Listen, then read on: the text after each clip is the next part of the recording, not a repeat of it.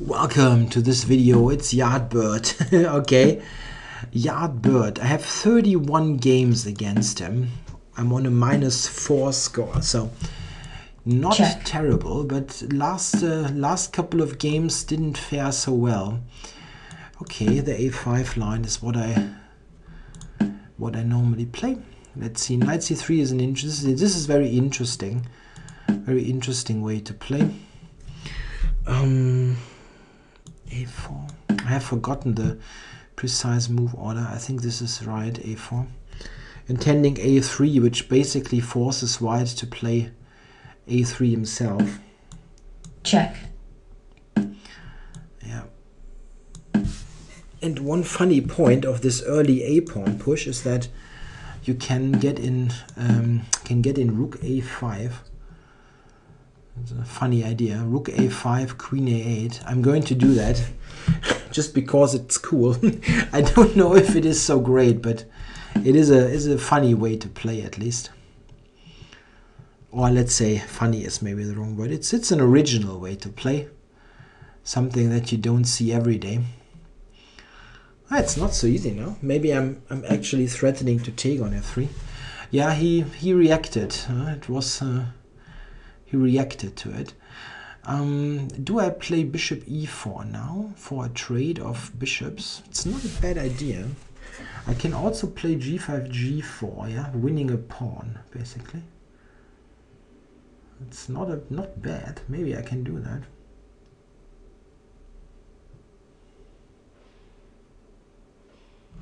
Or, or g5, h5. Let's do that. It's interesting.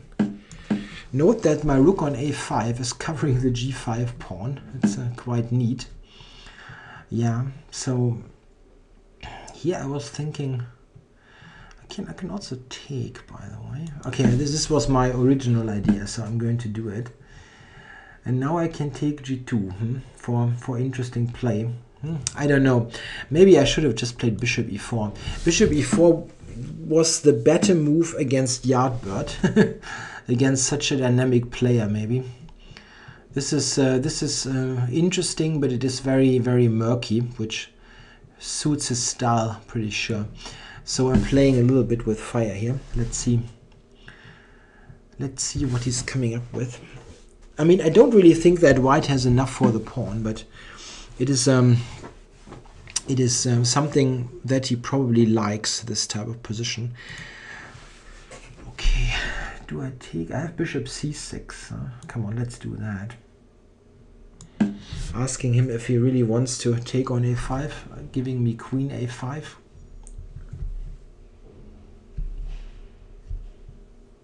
Or is he sacrificing the exchange? Maybe he is, right? Hey, probably will sacrifice the exchange. Taking or, or going back, okay. so, okay, I thought knight e4 might be a move. Or is this, this is stupid? Knight e4, d5. I can actually take g5. Hmm. d5.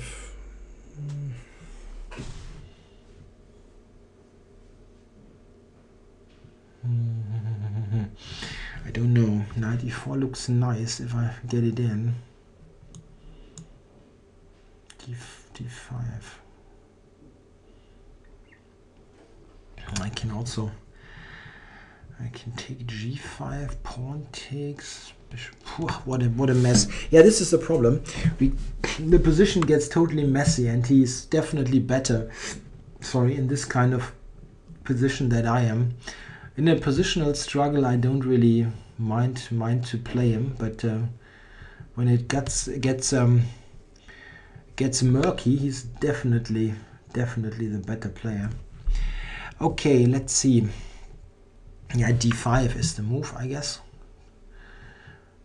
I mean, I don't really know how to assess the position after d5, but this is what white needs to do. I guess. Otherwise, I probably take g5, play bishop e4 for, for some very welcome trades.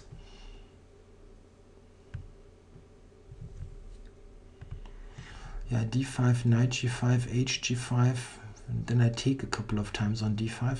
It's probably not really enough. Oh, he's allowing that. Okay, taking. Not spending tons of time now. I, I'm I'm happy to get this stuff traded.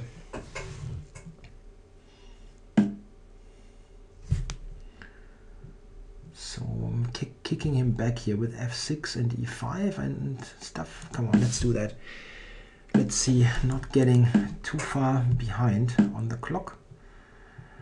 Now f5 for if he takes knight c5. That's actually looking nice. Or is this too loose? I don't know. I don't know. I have no time. Don't want to fall too far behind. d5, knight c5 is my idea.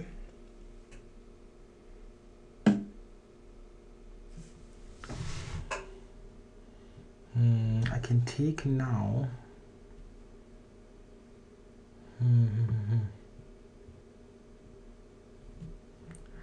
Okay, let's let's take here first. I take on e4. it's very loose. Okay.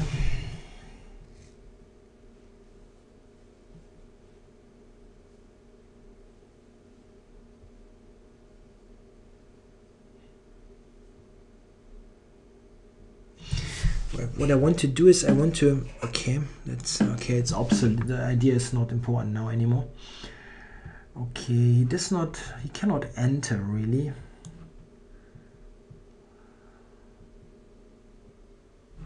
On knight c5 knight c5 or knight b3 that's actually nice right?